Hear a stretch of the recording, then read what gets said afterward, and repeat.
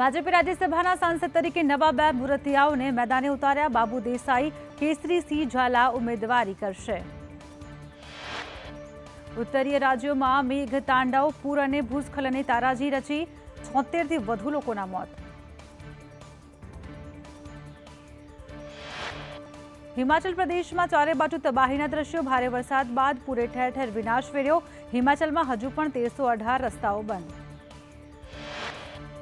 ઉત્તરાખંડમાં વરસાદી કહેર યથાવત ભૂસ્ખલનના કારણે ગંગોત્રી, યમનોત્રી, નેશનલ હાઈવે અનેક સ્થળે બંધ.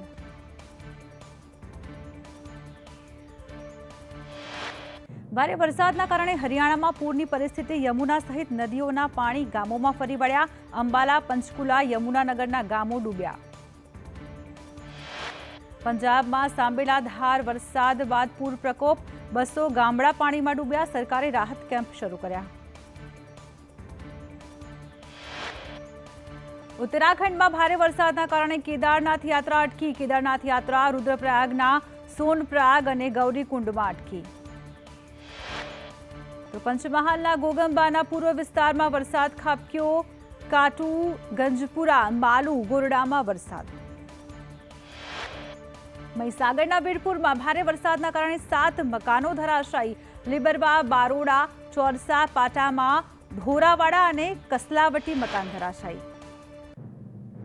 પાટણના સાંતલપુરમાં વરસાદ બાદ જ્યાં જુઓ ત્યાં પાણી પાણી, ભારે વરસાદને લઈને ગ્રામ્ય વિસ્તારના માર્ગો બેટમાં ફેરવાયા. રાજ્યના બસો સાત જળાશયોમાં અડતાળીસ પોઈન્ટ ચુંબોતેર ટકા જળસંગ્રહ, સૌરાષ્ટ્રના એકસો એકતાળીસ જળાશયોમાં સાહીઠ પોઈન્ટ અઢાર ટકા જળસંગ્રહ. તો ભારત ફરી એકવાર અંતરિક્ષમાં ઇતિહાસ રચશે. ચૌદ જુલાઈના રોજ ભારતના મહત્વાકાંક્ષી મિશન ચંદ્રયાન ત્રણનું લોન્ચિંગ.